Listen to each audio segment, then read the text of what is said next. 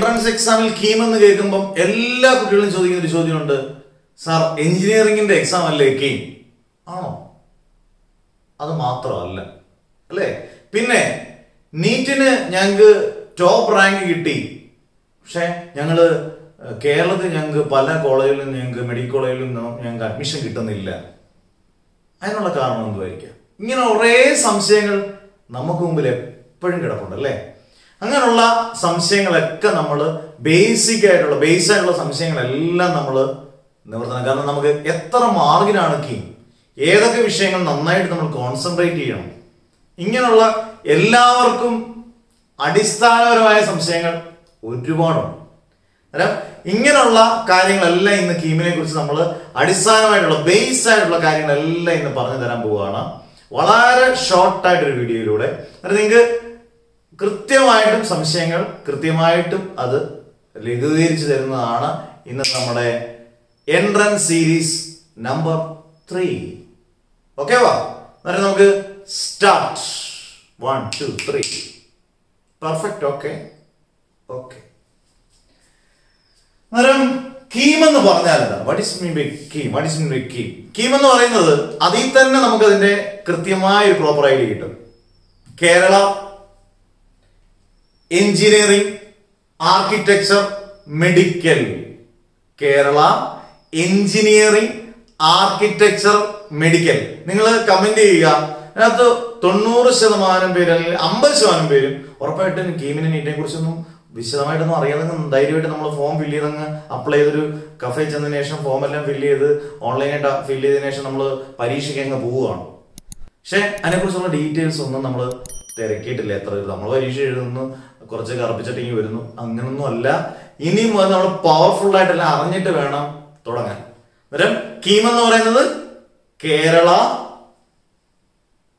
Engineering architecture medical. ഇനി നിങ്ങൾക്കൊരു സംശയം വരരുത്. അതിൽ തന്നെ വളരെ വ്യക്തമാണ് എഞ്ചിനീയറിംഗ് ഉണ്ട് അതിനകത്ത് ആർക്കിടെക്ചർ ഉണ്ട് അതിനകത്ത് മെഡിക്കൽ ഉണ്ട് അതിനകത്ത്.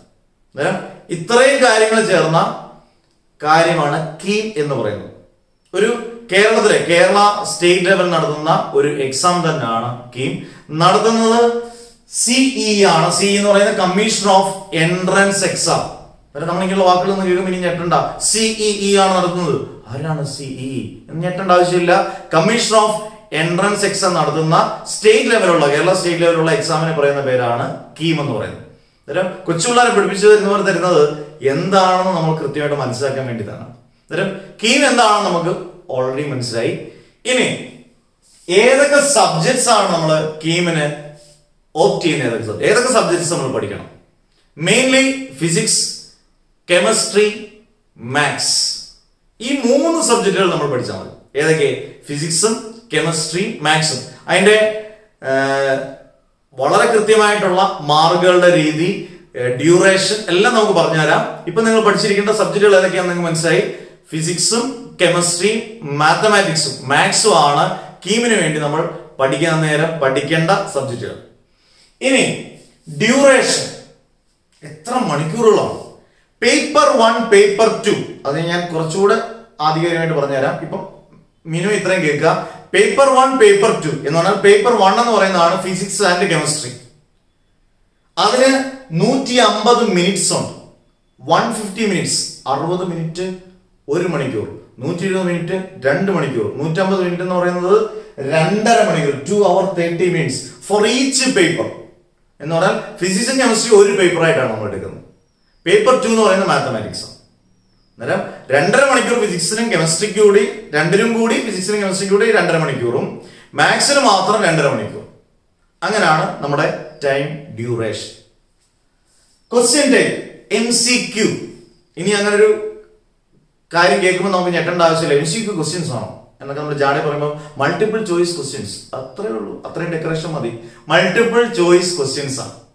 അതാണ് ക്വസ്റ്റ്യൻ ടൈപ്പ് കോഴ്സസ് ഓഫേഡ് ഏതൊക്കെ കോഴ്സുകളാണ് നമ്മൾ ഇതാകുന്നത് സഭയായിട്ടും നമ്മൾ കേരള എഞ്ചിനീയറിംഗ് എന്ന് പറയുന്നിടത്ത് ബി ടെക്കിന്റെ എല്ലാ കോഴ്സും കീമിനെ അടിസ്ഥാനപരമായിട്ടാണ് വരുന്നത്. അന്നേരം ബി ടെക് വളരെ ഇമ്പോർട്ടന്റ് ആയിട്ടൊരു കാര്യം തന്നെയാണ് ബി ആർ ഒരുപാട് കുട്ടികൾക്ക് ഇന്നത്തെ തലമുറയ്ക്ക് വളരെ ഇഷ്ടമായ ഒരു സാധനമാണ് ആർക്കിടെക്ചർ അന്നേരം ബിടെക് എന്ന് പറയുന്നത് വളരെ വളരെ വളരെ വളരെ ബിടെക്കിനോടൊപ്പം വളരെ ഇമ്പോർട്ടന്റ് ആണ്. ബി ആർക്ക് ആർക്കിടെക്ചറെല്ലാം വരുന്നതാണ്. ഈ ബി ആർക്കിന് പ്രത്യേകതയുണ്ട്. ബി ആർക്ക് നമ്മൾ ക്വാളിഫൈ ചെയ്താലും കീമിനകത്തോടെ നമ്മൾ ക്വാളിഫൈ ചെയ്തെന്നിരിക്കട്ടെ. ക്വാളിഫൈ ചെയ്താലും നമ്മൾ നാറ്റയുടെ എലിജിബിലിറ്റി ടെസ്റ്റൂടെ പാസ്സാണ് national aptitude test for test in architecture. അന്നേരം നാഷണൽ ലെവലിലുള്ള ടെസ്റ്റിലൂടെ ക്വാളിഫൈ അല്ലെങ്കിൽ എലിജിബിലിറ്റി പാസ്സായാൽ മാത്രമേ നമുക്ക് ടോപ്പ് റാങ്കിലോട്ട് നമുക്ക് കയറി വരാൻ പറ്റത്തുള്ളൂ. അത് നിങ്ങൾ അറിഞ്ഞിരിക്കേണ്ടതാണ് ബി ആർക്കിനെ കുറിച്ച്.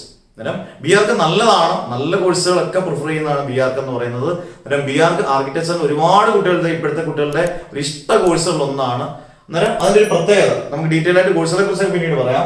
അന്നേരം അതിന് ഇവിടുത്തെ കീമിന്റെ ക്വാളിഫൈ ചെയ്താൽ മാത്രം പോരാ. എലിജിബിലിറ്റി ടെസ്റ്റും ഉണ്ട്. National aptitude for test in architecture എന്ന് പറയുന്നത് പാസ് അല്ലെങ്കിൽ അതിനകത്ത് ക്വാളിഫൈ ചെയ്യുകയും ചെയ്യണം. ഇനി ഇതല്ലാതെ മെഡിക്കലായിട്ട് വരുന്നത് B pharm B S C fisheries ഇങ്ങനെയുള്ളതെല്ലാം അങ്ങനെയുള്ള ചെറിയ ചെറിയ മെഡിക്കൽ കോഴ്സുകളും ഏതിന് വരുന്നുണ്ട്? കീമിന്റെ അണ്ടറിൽ വരുന്നുണ്ട്. അന്നേരം KEAM a very important course of എൻട്രൻസിന്റെ നമ്മൾ വലത് കാൽ വെക്കുന്നതിന് ഒരു വളരെ ശക്തമായ ഒരു കാൽവെപ്പ് തന്നെയാണ് KEAM. NEET all India entrance ആണെങ്കിൽ ഇതൊരു സ്റ്റേറ്റ് വൈസ് എൻട്രൻസ് ആണ് എക്സാം ആണ് ഏത് കീം എന്ന് പറയുന്നത്. ഇപ്പൊ നിങ്ങൾക്ക് ഏകദേശം ഒരു ഫ്രെയിം കിട്ടി. എന്തൊക്കെ നമ്മൾ പഠിക്കണം? എന്തൊക്കെയാണ് ഏകദേശം ഒരു ഐഡിയ കിട്ടി? ആരൊക്കെ എക്സാം നടത്തുന്നു? എങ്ങനെയാണ്? എത്ര സമയം? ഇനി നമുക്ക് ഇതിനെക്കാട്ടി കുറച്ചുകൂടെ കയറി മുന്നോട്ട് വരാം. നിങ്ങളുടെ കുറച്ച് സംശയങ്ങളുടെ അടുത്ത് ഇതിനകത്ത് പറയുമ്പോൾ കുറച്ചുകൂടെ ക്ലിയർ എന്നല്ല അത്യാവശ്യം ബേസ് ക്ലിയർ ആവും. നല്ല ഇൻട്രോ സൂപ്പർ നന്നായിട്ട് പഠിക്കുന്നതിന് മുമ്പേ കാര്യങ്ങൾ ഗൗരവമായി നമ്മൾ മനസ്സിലാക്കിയിരിക്കണം. കാര്യങ്ങൾ നല്ല രീതിയിൽ മനസ്സിലാക്കിയിരിക്കണം. ഓക്കെ വാ. ഇനി നമുക്ക് മറ്റൊരു കാര്യത്തിൽ ഭയങ്കര ഡൗട്ടാണ് ഒന്ന് കീമിനും മീറ്റിനും കൂടി ഞങ്ങൾ അപ്ലൈ ചെയ്യണം അല്ലെങ്കിൽ രജിസ്റ്റർ ചെയ്യണം. ഉറപ്പായിട്ടും. കാരണം നീറ്റിന് ടോപ്പ് റാങ്ക് നമുക്ക് മെഡിക്കലിന് കിട്ടി എന്ന് വിചാരിക്കും. അല്ലെങ്കിൽ ഒരു നല്ല അത്യാവശ്യം റാങ്ക് കിട്ടിയിട്ടുണ്ടെങ്കിൽ കേരളത്തിൽ പഠിക്കണമെന്നുണ്ടെങ്കിൽ കേരളത്തിലെ മെഡിക്കൽ കോളേജിലോ അല്ലെങ്കിൽ അങ്ങനെ ഉള്ള ഗവൺമെന്റ് സ്ഥാപനങ്ങളിലോ പഠിക്കണം അല്ലെങ്കിൽ മാനേജ്മെന്റ് സീറ്റിൽ പഠിക്കണം എന്നുണ്ടെങ്കിൽ ഉറപ്പായിട്ടും കീം രജിസ്റ്റർ ചെയ്തവർക്ക് മാത്രമേ അവിടെ നമുക്ക് സീറ്റ് കിട്ടത്തുള്ളൂ. ഉറപ്പായിട്ടും നീറ്റ് അപ്ലൈ ചെയ്യുന്നതിന്റെ കൂട്ടത്തിൽ തന്നെ നിങ്ങൾ എല്ലാ കുട്ടികളും എന്തും അപ്ലൈ ചെയ്തിരിക്കണം കീമും അപ്ലൈ ചെയ്തിരിക്കണം. അത് നിർബന്ധമായ കാര്യമാണ്. അല്ലാത്ത നിമിഷം നീ എത്ര ടോപ്പ് റാങ്ക് കിട്ടിയാലും ചിലപ്പം Kottayam medical college Thiruvananthapuram medical കോളേജിൽ ചിലപ്പം നമുക്ക് കീം അപ്ലൈ ചെയ്തിട്ട് രജിസ്റ്റർ ചെയ്തിട്ടില്ലെങ്കിൽ നമുക്ക് എങ്ങും സീറ്റ് ലഭിക്കത്തില്ല എന്നുള്ളതാണ് കറക്റ്റായ കാര്യം. ഇനി മറ്റൊരു കുട്ടികളുടെ നമ്മൾ എത്രമാത്രം മാർക്ക് തിയറി പേപ്പറിന്റെ മാർക്ക് സാർ ഇതിന്റെ കൂട്ടത്തിൽ കൂട്ടും? ഉറപ്പായിട്ടും അമ്പത് ശതമാനം പ്ലസ് ടുവിന്റെ മാർക്കും അമ്പത് ശതമാനം കീമിന്റെ എൻട്രൻസിന്റെ മാർക്ക് കൂടെ ചേർത്തിട്ടാണ് ഫൈനൽ മാർക്ക് ഒരു പെർസെന്റേജിലോട്ടൊക്കെ ആക്കി ഫൈനൽ റാങ്കിലേക്ക് നമ്മളെ കൊണ്ടുവരുന്നത്. അതായത് അമ്പത് ശതമാനം പ്ലസ് ടുവിന്റെ മാർക്ക് കൊണ്ട് അമ്പത് ശതമാനം നമ്മുടെ എൻട്രൻസിന്റെ മാർക്ക് കൂടെ കൂട്ടി ഒരു ഫൈനൽ റാങ്കിലേക്ക് നമ്മൾ കൊണ്ടുവരും അതായത് പ്ലസ് ടുവിന്റെ മാർക്ക് ഇമ്പോർട്ടന്റ് ആണ് ഫിഫ്റ്റി പെർസെന്റേജ് എന്നാൽ ഒട്ടും ഒട്ടും കുറവല്ല നമ്മുടെ എൻട്രൻസിന്റെ മാർക്ക്. അത് രണ്ടുകൂടെ ബാലൻസ് ചെയ്ത് നമ്മൾ ടോപ്പിലേക്ക് എത്തണം. ഇനി നിങ്ങൾക്ക് വളരെ ആവശ്യമായ ഒരു കാര്യമാണ് പേപ്പർ വൺ പേപ്പർ ടു നമുക്ക് രണ്ട് പേപ്പറുകളാണുള്ളത് പേപ്പർ വൺ കീമിന് രണ്ട് പേപ്പറുകളാണുള്ളത് പേപ്പർ വണ്ണിനകത്ത് ഫിസിക്സും കെമിസ്ട്രിയും അന്നേരം ഫിസിക്സിനും കെമിസ്ട്രിക്കും കൂടെ രണ്ടിനും കൂടെ നൂറ്റി ഇരുപത് ക്വസ്റ്റ്യൻസ് ആണ്. രണ്ടിനും കൂടെ ഫിസിക്സിനും കെമിസ്ട്രിക്കും കൂടെ നൂറ്റി ഇരുപത് ക്വസ്റ്റ്യൻസ് ഉണ്ടെങ്കിലും ഫിസിക്സിന് വെയിറ്റേജ് എന്ന് പറയുന്ന രീതി രീതി വെച്ച് മൂന്ന് വെയിറ്റേജ് അനുസരിച്ച് എഴുപത്തിരണ്ട് ക്വസ്റ്റ്യൻസ് ഫിസിക്സിനും കെമിസ്ട്രിക്ക് നാൽപ്പത്തി എട്ട് ക്വസ്റ്റ്യൻസും ആണ്. അന്നേരം seventy two plus forty eight എന്ന് പറയുന്നത് വൺ ട്വന്റി ക്വസ്റ്റ്യൻസ് ആണ്. അന്നേരം അവിടെ ഡോമിനേറ്റ് ചെയ്യുന്നത് ഫിസിക്സ് ആണ്.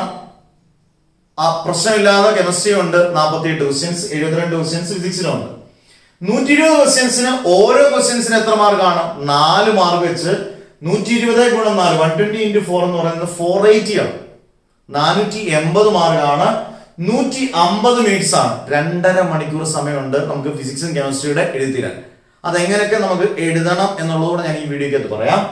അടുത്തത് പേപ്പർ ടു എന്ന് പറയുന്നത് മാത്സ് ഒറ്റയാനാണ് നൂറ്റി ഇരുപത് മിനിറ്റ് മാത്സിന് വേണ്ടി മാത്രം നൂറ്റി ഇരുപത് ക്വസ്റ്റ്യൻസ് സോറി നൂറ്റി ഇരുപത് ക്വസ്റ്റ്യൻസ് ഉണ്ട്. നൂറ്റി ഇരുപത് ഗുണം നാല് അവിടെ ഓരോ ക്വസ്റ്റ്യൻ നാല് മാർക്കാണ് അവിടെ ഫോർ എയ്റ്റി ആണ്. ഡ്യൂറേഷൻ എന്ന് പറയുന്നത് വൺ ഫിഫ്റ്റി മിനിറ്റ്സ് മാത്സിന് വേണ്ടി മാത്രം രണ്ടര മണിക്കൂറുണ്ട്. അന്നേരം നിങ്ങൾ ആലോചിക്കുക. ടോട്ടൽ ഇവിടെ നാനൂറ്റി എൺപത് ഫിസിക്സ് കെമിസ്ട്രിയുടെ കൂട്ടം നാനൂറ്റി എൺപത് മാത്സിന് മാത്രം നാനൂറ്റി എൺപത് ടോട്ടൽ നയൻ സിക്സ്റ്റി മാർക്കിലാണ് നമ്മുടെ കീമിന്റെ ഫൈനൽ മാർക്ക് വരുന്നത്. നയൻ സിക്സ്റ്റി സമയം രണ്ടര മണിക്കൂർ രണ്ടര മണിക്കൂറും അഞ്ച് മണിക്കൂർ സമയമുണ്ട്. ചിലത് ചില പരീക്ഷകൾ രണ്ട് ദിവസങ്ങളായിട്ട് നടത്താറുണ്ട്. ചിലപ്പം രാവിലെയും ഉച്ചയ്ക്കുമായിട്ട് നടത്താറുണ്ട് പരീക്ഷകൾ. അത് പല രീതിയിലാണ് അതിന്റെ രീതിക്ക് അനുസരിച്ച് നടത്തിക്കോളും. എന്തായാലും രണ്ടര മണിക്കൂർ പേപ്പർ വണ്ണിനും രണ്ടര മണിക്കൂർ പേപ്പർ ടുവിനും ഇനി പേപ്പർ വൺ എങ്ങനെയാണ് നമ്മൾ ആൻസർ ചെയ്യുമ്പോൾ എല്ലാ കുട്ടികളും ശ്രദ്ധിച്ചിരിക്കേണ്ട കാര്യം? നാൽപ്പത്തെട്ട് മാർക്കാണ് അവിടെ കെമിസ്ട്രിക്കുള്ളത് നാൽപ്പത്തെട്ട് മാർക്കാണ് അവിടെ കെമിസ്ട്രിക്ക് ഒരുപാട് ഭയങ്കരമായിട്ടുള്ള ടഫായിട്ടുള്ള പ്രോബ്ലംസ് അല്ല ചോദിക്കുന്നത്. നമുക്ക് ഏകദേശം കണ്ടാൽ അത്യാവശ്യമൊക്കെ നന്നായിട്ട് നോക്കിക്കൊണ്ട് പോയാൽ കണ്ടാൽ ആ ക്വസ്റ്റ്യന്റെ ഒരു ഓപ്ഷൻസ് ശ്രദ്ധിച്ചാൽ നന്നായിട്ട് പഠിക്കുന്ന കുട്ടികൾ പഠിച്ചിട്ട് ഏകദേശം പഠിച്ചിട്ട് പോകുന്ന കുട്ടികളാണെങ്കിൽ നമുക്ക് ആൻസർ ചെയ്യാം. അറിയാവുന്നത് മാത്രമേ ആൻസർ ചെയ്യാവുള്ളൂ. ഇവിടെ ഒരു ശരി ഉത്തരത്തിന് നാല് മാർക്കും ഒരു തെറ്റായിട്ടുള്ള ഉത്തരത്തിന് നെഗറ്റീവ് മാർക്ക് ഒരു മാർക്കും നമുക്ക് നീറ്റിന്റെ കൂട്ട് തന്നെ നമുക്ക് കീമിനും കിട്ടുകയും ചെയ്യും നഷ്ടപ്പെടുകയും ചെയ്യും. നെഗറ്റീവ് മാർഗം ഒരു മാർക്ക് നഷ്ടപ്പെടും. അന്നേരം കറക്റ്റ് ആയിട്ടുള്ളത് ചെയ്യുക. ആദ്യം ഫിസിക്സ് കെമിസ്ട്രിയിൽ ഞാൻ പറയുന്നത് ഒരു നാപ്പത്തഞ്ച് മിനിറ്റിൽ കൂടുതൽ നിങ്ങൾ കെമിസ്ട്രിക്ക് വേണ്ടി കളയരുത്. Maximum thirty two forty five minutes ഇതിനു വേണ്ടി കളയാം? കെമിസ്ട്രിക്ക് വേണ്ടി കളയാം നല്ല കെമിസ്ട്രിക്ക് വേണ്ടി നമുക്ക് ഉപയോഗിക്കാം. യൂട്ടിലൈസ് ചെയ്യാം. ബാക്കിയുള്ള ഒന്നേ മുക്കാൽ മണിക്കൂർ നിങ്ങൾ ഏതിനു വേണ്ടി യൂസ് ചെയ്യണം? ഫിസിക്സിന് വേണ്ടി യൂസ് ചെയ്യണം. കാരണം എഴുപത്തിരണ്ട് ക്വസ്റ്റ്യൻസും ഉണ്ട് നയന്റി നയൻ പെർസെന്റേജ് അത് എന്തുമായിരിക്കും പ്രോബ്ലംസും ആയിരിക്കും അവിടെ നമുക്ക് ഈസി ആയിട്ട് പ്രോബ്ലംസ് ക്രാക്ക് ചെയ്യാവുന്നതാണ് ഫിസിക്സ് കൂടെ അധ്യാപനായ ഞാൻ പറയുന്നത്. കാരണം അത് നമുക്ക് ഈസി ആയിട്ട് ക്രാക്ക് ചെയ്യാൻ പറ്റുന്ന ഒരു അമ്പത് ക്വസ്റ്റ്യൻസ് അറുപത് ക്വസ്റ്റ്യൻസ് ഒക്കെ സ്ഥിരമായിട്ട് ഞാൻ കണ്ടുവരുന്നതാണ്. കീമിന് നമ്മൾ ജയിക്കുന്ന ഒരു അമ്പത് അറുപത് ക്വസ്റ്റ്യൻസ് മിനിമം അമ്പത് ക്വസ്റ്റ്യൻസ് ക്രാക്ക് ചെയ്യാൻ. അമ്പത് ക്വസ്റ്റ്യൻസ് എന്ന് പറയുമ്പോൾ അമ്പത് ഗുണം നാല് ഇരുന്നൂറ് മാർക്ക് കിട്ടുമെന്ന് പറയുന്നത് നമ്മുടെ ഹൈ റാങ്ക് നമ്മൾ എത്തിക്കും. അന്നേരം അതിന് നല്ല എന്ത് ചെയ്യണം? നല്ലപോലെ നമ്മൾ പ്രോപ്പറായിട്ട് എക്സസൈസ് ചെയ്ത് നന്നായിട്ട് കൃത്യമായിട്ട് എല്ലാം അപ്ഡേറ്റ് ചെയ്ത് അപ്ഡേറ്റ് അപ്ഡേറ്റ് ചെയ്ത് നന്നായിട്ട് എല്ലാ ദിവസവും നമ്മൾ പ്രാക്ടീസ് ചെയ്താൽ മാത്രമേ അത് കിട്ടത്തുള്ളൂ. ആ രീതിയിൽ നിങ്ങൾ നോക്കുക. ആദ്യം chemistry maximum thirty two forty five minutes ബാക്കിയുള്ള സമയം മൊത്തം ഫിസിക്സിന് വേണ്ടി എടുക്കുക. ഇതിന് പ്രത്യേകിച്ച് പറയേണ്ട ആവശ്യമില്ല. മാത്സ് നിങ്ങൾക്ക് അതിനുവേണ്ടി മാത്രമാണ് രണ്ടര മണിക്കൂർ മാത്സ് കംപ്ലീറ്റ് പഠിക്കുക. അന്നേരം ഇതാണ് കൃത്യമായി ഇതിന്റെ ഒരു ഡ്യൂറേഷൻ അതിന്റെ മാർക്ക് ഡിവിഷൻ ഫിസിക്സിന് എത്ര മാർക്ക് കെമിസ്ട്രിക്ക് എത്ര മാർക്ക് മാത്സിന് എത്ര മാർക്ക് ഉണ്ടെന്നുള്ള എല്ലാ കാര്യങ്ങളുടെയും സംശയങ്ങൾ. ഇതോടുകൂടി കീമിനെ കുറിച്ചുള്ള കാര്യങ്ങൾ കഴിഞ്ഞു. ഇതൊരു ഡീറ്റെയിൽഡ് അല്ല ഇതൊരു ബേസ് കാര്യങ്ങൾ മാത്രമാണ്. കാരണം ബേസ് കാര്യങ്ങൾ അറിയാതെ നമ്മൾ ഡീറ്റെയിൽഡ് വേർഷനിലോട്ട് കയറിയിട്ട് കാര്യമില്ല. എല്ലാത്തിന്റെയും ഡീറ്റെയിൽഡ് വേർഷനും അതിന്റെ കോഴ്സുകളെ കുറിച്ചും നമുക്ക് ഏറ്റവും ആപ്റ്റ് ആയിട്ടുള്ള കോഴ്സുകളെ കുറിച്ചും ഇപ്പൊ ഉള്ള കുട്ടികൾക്ക് ഒരുപാട് കോഴ്സുകളെ കുറിച്ച് അറിയാം പക്ഷെ അതിനകത്ത് ഒരുപാട് തെറ്റിദ്ധാരണകളൊക്കെ ഉണ്ട്. അന്നേരം ഇനി നമുക്ക് ഓരോ കാര്യങ്ങളെ കുറിച്ച് നമുക്ക് പറയാം. വളരെ ഡീറ്റെയിൽഡ് ആയിട്ട് ഓരോ വീഡിയോ അന്നേരം ഇത് സീരീസ് ആണ്. This is third series third series ആണ്. അന്നേരം നിങ്ങളുടെ കമന്റുകൾ നിങ്ങൾ കൃത്യമായിട്ട് രേഖപ്പെടുത്തുക. നിങ്ങളുടെ സംശയങ്ങൾ പരമാവധി പരമാവധി ലഘൂകരിക്കാൻ ഞാൻ ശ്രമിക്കാം. അന്നേരം കീമിനെ കുറിച്ച് അടിസ്ഥാനമായ എല്ലാ കാര്യങ്ങളും പെർഫെക്റ്റ് ഓക്കെ വാ. ഓക്കെ ആയെന്ന് വിചാരിക്കുന്നു. അന്നേരം ഇന്നത്തെ വീഡിയോ ഇവിടെ കൊണ്ട് നിർത്തുന്നു. നന്ദി നമസ്കാരം വണക്കം. Bye bye C you okay